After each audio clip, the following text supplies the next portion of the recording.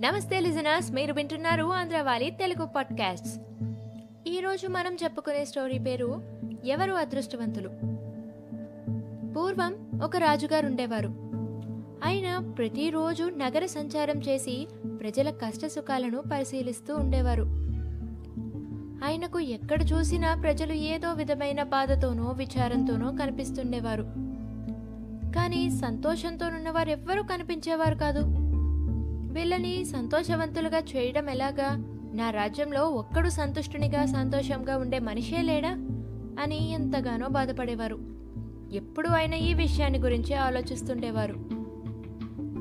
ఒక రోజున అలవాటు ప్రకారం రాజుగారు నగర సంచారం చేస్తున్నారు. ఒక చోట ఆయనకు ఒక ముసలివాడు కనిపించాడు. అతడు పొలంలో గోతులు తవ్వి మొక్కలు నాటుతున్నాడు. అతడు వాటిని ఎంతో ఓపిగ్గా శ్రద్ధగా నాటుతున్నాడు. అతన్ని చూసిన రాజుగారికి చాలా సంతోషం అనిపించింది. రాజుగారు అతని వద్దకెళ్ళి తాత ఏమిటి పాతుతున్నావు? అని అడిగారు. రాజుగారి ప్రశ్నకు జవాబుగా అయ్యా నేను మామిడి మొక్కలను పాతుతున్నాను అన్నాడు. అవి చెట్లయి ఎన్నేళ్ళకు కాస్తాయి? రాజుగారి ప్రశ్న. సుమారు ఐదు లేక ఆరు సంవత్సరాలు పట్టచ్చు. ముసలివాని జవాబు. తాత నీకు వయసు ముదిరిపోయింది కదా. వీటి కాయలు తినడానికి నీవు మరొకైదేళ్ళు జీవిస్తావా? అని అడిగారు. మహారాజా ఇవి నా కోసం కాదు నా మనమల కోసం నాటుతున్నాను. మా తాతలు పూర్వం ఇలా చెట్లను పాతబట్టే నేనిప్పుడు ఆ పండ్లను తింటున్నాను అన్నాడు. రాజుగారికి అప్పుడు ఎంతో ఆనందం కలిగింది.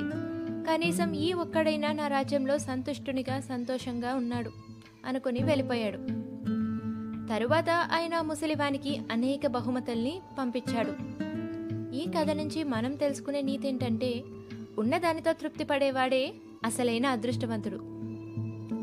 అది లేకపోతే మనకి ఏం చేసినా ఎన్ని చేసినా ఇంకా ఏదో ఉండాలి అని అనిపిస్తూనే ఉంటుంది. So happy and peaceful life lead చేయడానికి మనకి సాటిస్ఫాక్షన్ ఉండటం చాలా అవసరం. ఇదండి ఇవాళ story.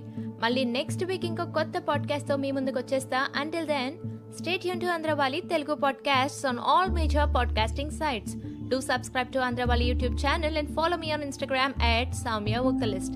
Thank you for listening. Bye bye.